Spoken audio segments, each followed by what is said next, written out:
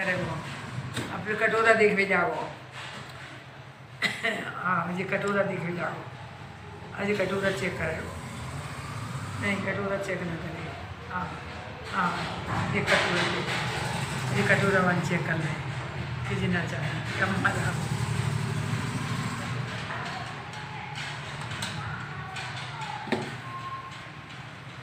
चारों तरफ़ देख। तो ना है हैं? हाँ। अब माँ जाओ देख भी के जी का है। ये देख ले जाने देखत रहियो। हाँ अब देख आओ अब आग बतली लेवे ये मुड़न दो जे मुड़न दो चेक कर। रहा हूँ उठा कर चेक कर रहा हूँ हाँ अभी तो चेक कर रहा है है अब थैली को रखो देखो कट नहीं जाए ध्यान रखियो। अवाल की तरह। अब जी जी थैली में अवाल को रखो किताबें कैसे अच्छा तेरा ही तेरा हाल ही करा है। पुरानी किताब रखी थी पुरानी पुरानी। हाँ। किताब हाँ हाँ आज थैली है उठाई है लेकिन हाँ सुनियो ही ना पटकी। और इसके संग में एक लौंडा और भी है। रुक जाओ रुक जाओ तो देखो तो सही देखो। देखो नो जिधर है वो देखो। निकात रहो। हाँ हाँ हाँ देखो जो जो ये सामा ऊपर। ए? ध्यान ध्यान दे कौन नहीं कर पाई हमें फाटे में। जो जो ऊपर? जो कुंडी लगा हुआ लड़का मैं ऊपर काम कर रहा अच्छा ये काम कर रहा हूँ मैं ऊपर काम कर रहा था। हाँ जाने जे दल ले जामे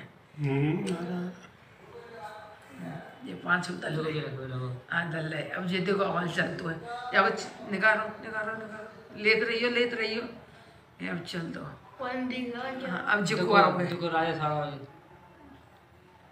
जाने का छु देखो इसका कोई सामान रह गया है? ऊपर का सामान मंदिर से छिपटले में जो रकावन थाने के पीछे स्थित है वहाँ से भी पंचमेरु उठाए हैं। ये चोर प्रतिदिन ऐसी वारदात को अंजाम दे रहा है और इसने बड़ा मंदिर छिपटुला से भी जो अभिषेक करते हैं, उसके ऊपर जो ढक्कन रखे होते हैं, चांदी के काफ़ी भारी, वो भी उठाए हैं। और आज इन्होंने चोरी करने का प्रयास किया ओल्ड ईदगाह मंदिर में। ओल्ड ईदगाह मंदिर में चोरी करने का प्रयास किया, मंदिर माली ने और वहाँ उपस्थित लोगों ने इस बात को भाप लिया क्योंकि तो समाज में इस बात की चर्चा थी कि प्रतिदिन मंदिर में चोरी हो रही है, इसीलिए इस पर शक गया और इसको तुरंत पकड़ लिया। वहाँ पर इसने अपना अपराध कबूल कर लिया है और दूसरा कब से कर रहा है ये? पिछले एक महीने से इसकी वारदातें सामने आ रही है। आज इसलिए आना पड़ा।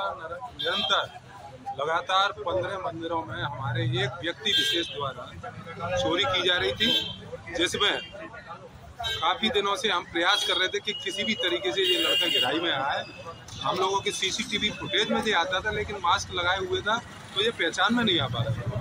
तो हम लोगों ने सभी मंदिरों में, जो आसपास हमारे मंदिर हैं, सभी सभी में हमने कहा अरे भैया सतर्कता बरतो और माली और वहाँ के प्रबंधक जो भी हैं, जितने भी हैं, सबसे कहा कि आपको निगरानी रखनी पड़ेगी जो बारह बजे के करीब, ग्यारह बजे शुरू हो जाता है आना, उसके बाद देख रेख करके जैसे ही भीड़ कम होती है, वैसे ही चांदी के सामान ये यहाँ से चोरी करता है और उसको एक पीपल मंडी में या नमक की मंडी में कहीं बेचता है। Thank